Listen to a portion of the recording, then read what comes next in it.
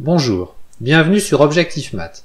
Dans cet exercice, on vous demande d'étudier l'inversibilité de la matrice A, carré d'ordre 3, donnée en colonne 1, 1, 0, 1, 2, moins 1, 1, 3, 1. Et bien sûr, si l'inverse existe, il s'agit de la calculer. Vous devriez maintenant mettre la vidéo sur pause et chercher à résoudre l'exercice par vous-même. Donc voici la solution que je vous propose. Je vous remets la matrice grand A, je ne détaille pas le calcul de son déterminant. Il est égal à 3. Ce déterminant étant non nul, la matrice A est donc inversible. Voici comment calculer son inverse. Considérons i et j deux entiers compris entre 1 et 3. Notons a'ij, le déterminant obtenu en supprimant la ième ligne et la jème colonne de A. Ce coefficient s'appelle un mineur. Notons cij, le coefficient égal à moins 1 puissance i plus j multiplié par a' ij.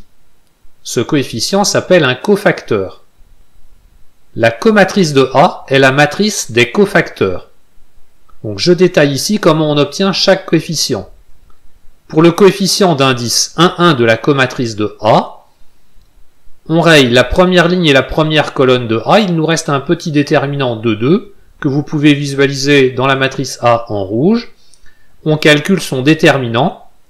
2 fois 1 moins moins 1 fois 3 égale 5. Et on affecte ce coefficient du coefficient moins 1 puissance i plus j. Ici, i est égal à 1, j égale à 1. Donc on garde le coefficient 5.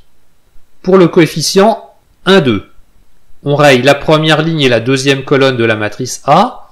Il nous reste un petit déterminant qui est égal à 1, mais on affecte ce coefficient du moins 1 puissance i plus j, ici i égale 1, j égale 2, donc on affecte le déterminant du coefficient moins 1, ce qui nous donne le coefficient ici moins 1.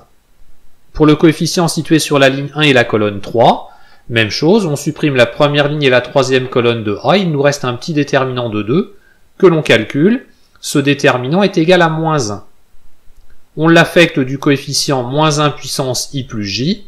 Cette fois-ci, i plus j est égal à 4, et donc le coefficient moins 1 est inchangé. On passe au coefficient situé sur la deuxième ligne et la première colonne de la comatrice. On raye la deuxième ligne et la première colonne de la matrice A. Il nous reste un déterminant de 2 qui est égal à 2. On affecte ce coefficient du coefficient moins 1 puissance i plus j avec ici i égale 2, j égale 1. Donc le coefficient à mettre à cet emplacement dans la comatrice est égal à moins 2. On passe au coefficient central, c'est-à-dire le coefficient d'indice de 2. On raye la deuxième ligne et la deuxième colonne de A, il nous reste un petit déterminant de 2 qui est égal à 1. i plus j étant pair, ce coefficient est inchangé. On passe au coefficient sur la deuxième ligne et la troisième colonne on raye la deuxième ligne et la troisième colonne de A, il nous reste un déterminant de 2 égal à moins 1.